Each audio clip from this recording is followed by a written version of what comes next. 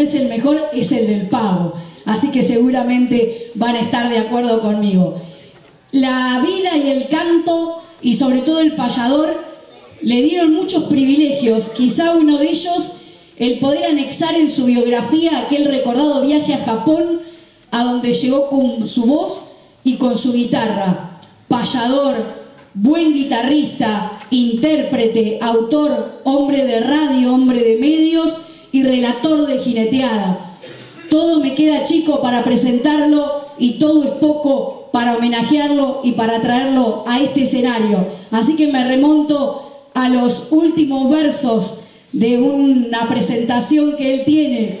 Después de un tiempo, aquí estoy con mi guitarra y mi canto. Gustavo Bello, el crédito del pago, el payador de Maipú.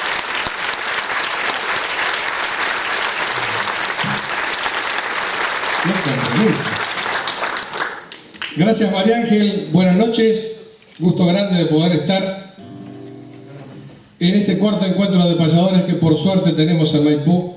Y Dios quiera este, dure muchísimos años. Eh, gracias por el esfuerzo, tiempos difíciles pero no imposibles cuando se tiene ganas, así que gracias por, por la convocatoria y por supuesto vamos a hacer lo que sencillamente aprendimos de lo que andamos algunos años llevando el nombre de Maipú en, nuestras espaldas. Eh, quisiera agradecer primero, porque después me olvido, ¿viste? Quiero agradecerle a Ángel por todo lo que labura siempre. Este, gracias al señor Intendente, Matías. Eh, en alguna oportunidad se lo dije, creo que fue el primero. Qué bueno está que, que tengan algún sector de trabajo alguien que entiende un poco de, la gauchería y de los gustos de la gente de campo. Y no es de la boca para afuera, porque una sala llena no es casualidad tenerla. Y donde estaba disfrutando ahí atrás, al igual que ustedes, esto que me llena el alma, porque casi que es una obra de teatro lo que hemos visto, ¿no? De que don Saúl, con el respeto que merecen todos los demás colegas, este, un hombre de un camino limpio, un camino bueno, un camino profundo que nos ha enseñado fundamentalmente a ser gente y después lo artístico cada cual hace lo que puede.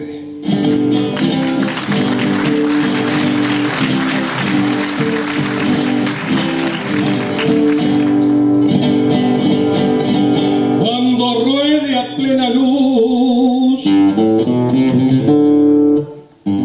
Cuando ruede a plena luz y me piale He de arrollar los ovillos que tuve en mi juventud. Cuando un bagual de la cruz me haga besar la clinera O cuando ya puerta afuera errando piales esté Como un maula lloraré recostado en la tranquera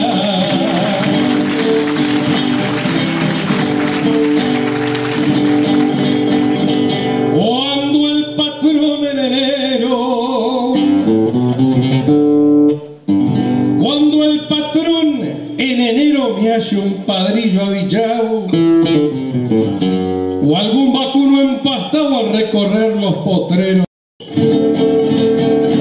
cuando alguien ando más ligero no le eche mis ñanduceras, cuando llegue a una carrera mal empilchado y de a pie, como un maula lloraré recostado en la tranquera.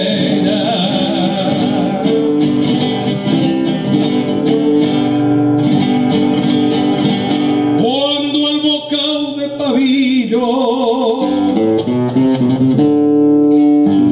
Cuando el bocado de pabilo ya no lo pueda trenzar, ni en mi guitarra arrancar cifras, milongas o estilos.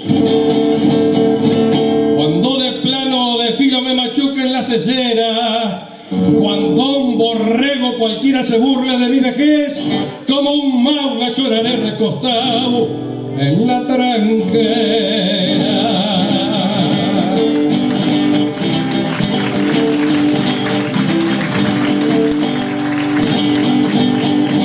cuando tenga que charquear